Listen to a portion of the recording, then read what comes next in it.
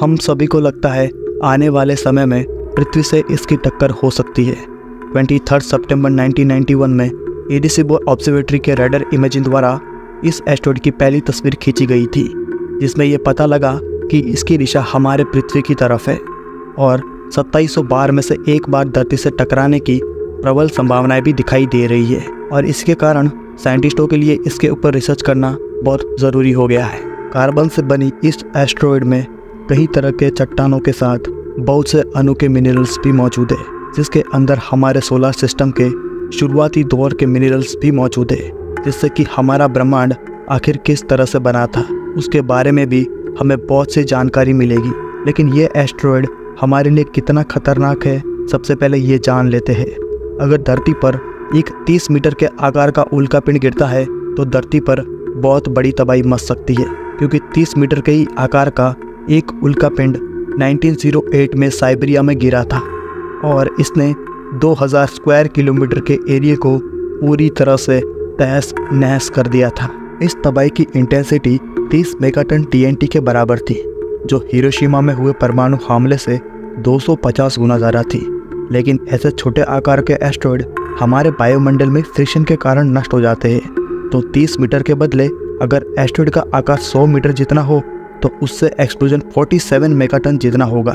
और ये तबाही दुनिया की सबसे खतरनाक हाइड्रोजन बम तजार बम के बराबर होगा। जी हाँ आपने सही सुना। तजार बम के बराबर होगा।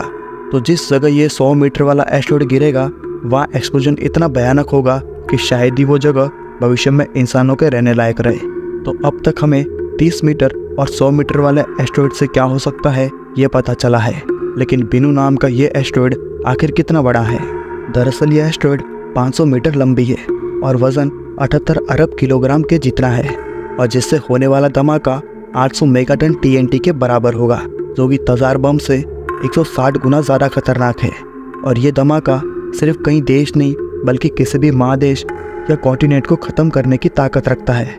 हमारी खुशकिस्मती है कि धरती में 71 परसेंट पानी है, लेकिन इस पानी में भी अगर ये एस्ट्रॉइड गिरता है, तब भी माँ सुनामी के जैसा महाप्रलय होना तो निश्चित है। तो अब इस एस्ट्रॉइड के साथ हमारी धरती से होने वाली टक्कर की कितनी प्रोबेबिलिटीज़ है, वो देख लेते हैं। तो ये एस्ट्रॉइड 2060 में पहली बार धरती से सात लाख पचास हज़ार किलोमीटर की दूरी से गुजरेगा। फिर उसके बाद 2135 में पृथ्वी से तीन लाख किलोमीटर की दूरी से गुजरेगा।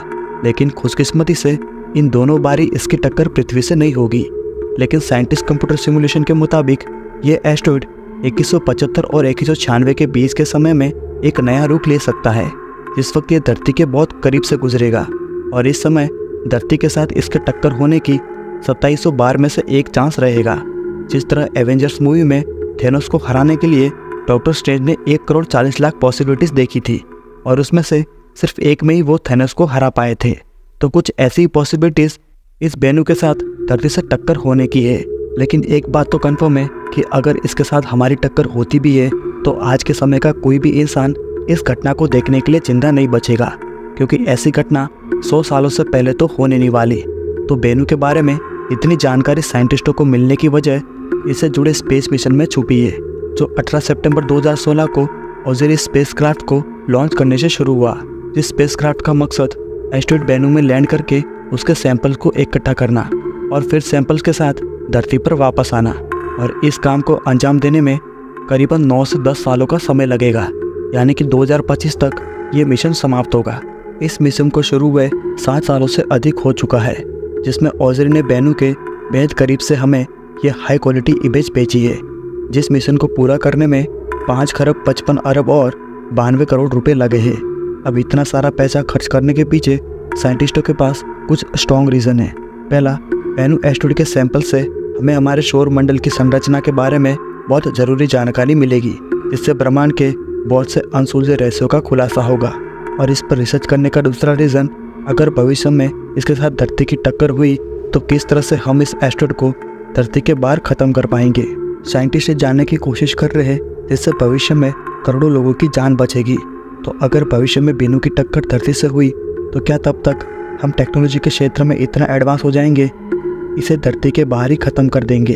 या तब भी इससे बच पाना नामुमकिन हो जाएगा। अपनी राय कमेंट करके ज़रूर बताएँ। और अगर ये वीडियो आपको अच्छा लगा हो, तब इस वीडियो को लाइक करके अपने दोस्तों के साथ शेयर ज़रूर करना। और अगर आपने हमारे चैनल को अभी तक सब्सक्राइब नहीं किया है तो चैनल को सब्सक्राइब करके नोटिफिकेशन बेल को भी ऑन कर देना। क्योंकि मैं ऐसे ही वीडियोस लाता रहता हूँ। तो मिलते हैं आपसे अगले वीडियो में, और हमेशा की तरह थैंक्स फॉर वॉचिंग